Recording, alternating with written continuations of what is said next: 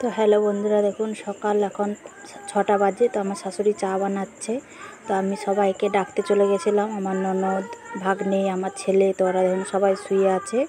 তো আর ঠাকুমা চা বানিয়ে খেতে বসে গেছে, দেখুন। ওই যে আমাদের উঠোনে খাচ্ছে চা, বসে বসে।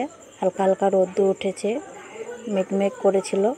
দিয়ে তারপরে চলে এসেছি আমাদের হাঁসের বাচ্চার কাছে। তো আমাদের হাঁসের বাচ্চাগুলো দেখুন মশারির তলে আটকিয়ে রেখেছে, কারণ পুকুরে গেলে আর আসে না, তিন চার দিন ধরে থেকে যায়।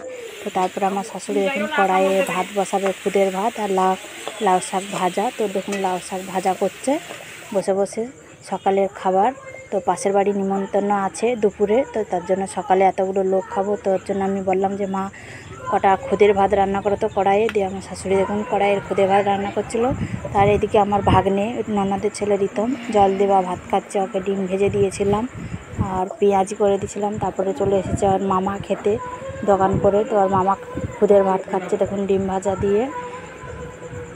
সারাদিন সেই ভোর পাঁচটা থেকে যায়, তারপরে খেতে খেতে দেখুন আমাদের আমাদের পাশের বাড়ি, ওই বোনদের বাড়ি যা হয় সম্পর্কে, তো ওদের বাড়ির অনুষ্ঠান তো গোপাল নিয়ে চলে এসেছে আমাদের বাড়ি। দেখুন গোপালে এসেছে আমাদের বাড়ি, সবাই মিলে। তো ওদের বাড়ি আজকে ভোজ খেতে যাব দুপুরবেলা দেখুন তো ওরা এখন চলে যাচ্ছে যে আমরা রেডি সেডি হয়ে তো আমরা ভোজের জায়গাতে চলে এসেছি।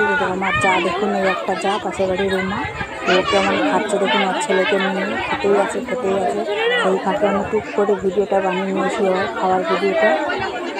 ওর আর ছেলে খুব দুষ্টামি করছে, জ্বালাচ্ছে, শয়তানি করছে। প্রচণ্ড প্রচণ্ড শয়তানি করছে আর খুব বদমাইশ। তো দেখুন, এদিকে সবাই পরিবেশন করছে সবাইকে। তো ভিডিওটা যদি ভালো লাগে লাইক শেয়ার কমেন্ট করবেন। আর একটু পাশে থাকবেন।